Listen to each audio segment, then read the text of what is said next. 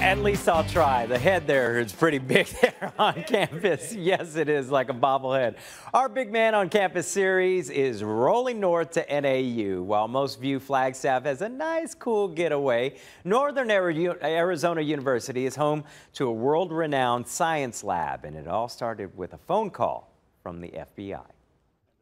Meet Dr. Anthrax, also known as NAU Regents Professor of Biology, Dr. Paul Keim people still introduce me as Dr. Anthrax, and of course, people's eyes get big and, they smile because they remember all this stuff.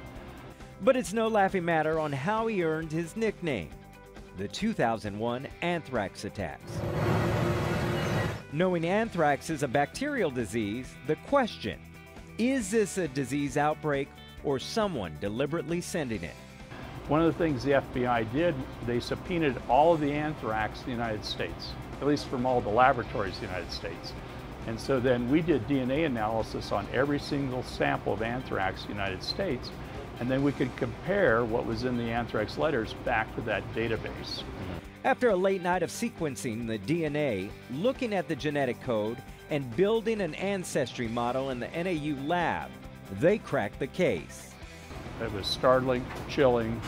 Uh, at that point, we knew that this was a bioterrorism event. Since, Dr. Keim has continued to focus on being a disease detective. Flagstaff is a great place to study infectious diseases. And now he's passing that knowledge on to his students. I get fecal samples from patients who have C. diff, and that's what we use to isolate all our samples from, and that's learning from the scientists who cracked a major bioterrorism case in the tiny town of Flagstaff. And so the students that come to NAU get a chance to work in, in an internationally renowned laboratory, some of the best scientists in the world. Uh, when they leave here, uh, they carry that with them. Getting back to the anthrax part, as you know, the suspect was later identified as Army biologist uh, Bruce Ivins, who committed suicide before being prosecuted.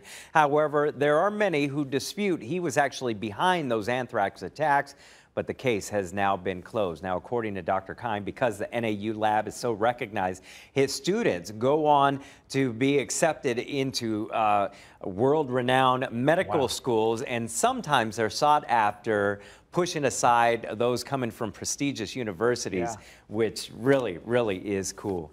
Coming up in the next hour, we're going to take you to the world's largest ponderosa pine classroom. So you got to stick nice. around for that. Well, and a professor like that, he could go anywhere he wanted. Oh, you know? absolutely. And he and chooses Flagstaff. When when he said he was coming back, he didn't realize or didn't think that NAU and Flagstaff was the spot for him, but they told him they wanted to do top-notch work, and he's since so uh, cool. lived up to that potential. So yeah, that's cool awesome. Stuff. Javi, thank you.